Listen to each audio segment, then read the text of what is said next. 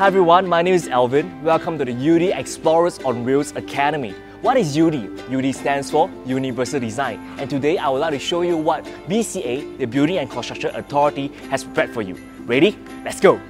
So welcome to our station. We are from the UD Academy. Today I'm here to share with you about Universal Design. Hi, so this is the bench station. At this station, the UD feature you will find is actually the armrest at the side of the bench. With the armrest, it's easier for the user to push himself or herself up from the bench and this is how the UD make our lives easier.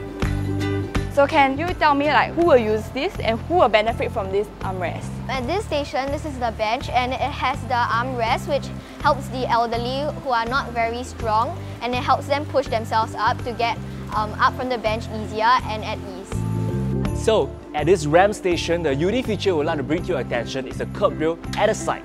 Its feature is to prevent the user from falling off the ramp. This is the ramp station and I think that the ramp station helps those wheelchair users to move around more freely. They do not need to struggle while moving. I enjoy that it helps the wheelchair users to navigate more easily and to move around with ease. And one of the most exciting features is this UD bus.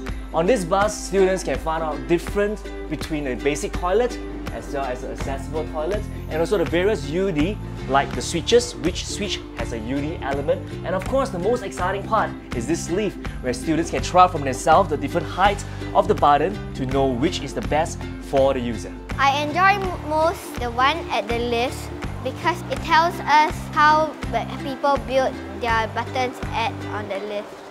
If it's too short, the elderly, when they bend down, they may hurt their backs. If it's, the buttons are too high up, the children may not be able to reach it if they're going home alone. Girls, this is Dots. Everybody say hi, Dots. Hi, This is Hexa. Everybody say hi, Hexa. Yes, I like the two mascots because they help to facilitate the event. Dots is really cute and Hexa is really smiley.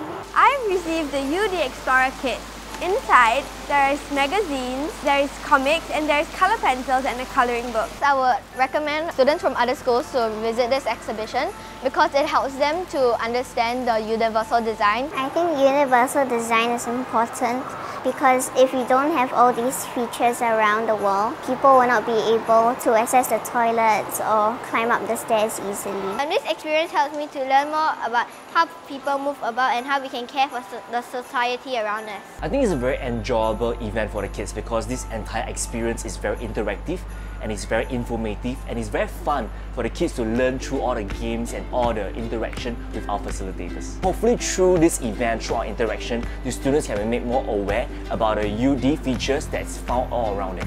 Because we live in a very diverse culture, in this culture we have people that cannot see very well, people that cannot walk very well. So UD is very important because it makes our society more inclusive and also it makes this environment safer and better for every one of us to live in.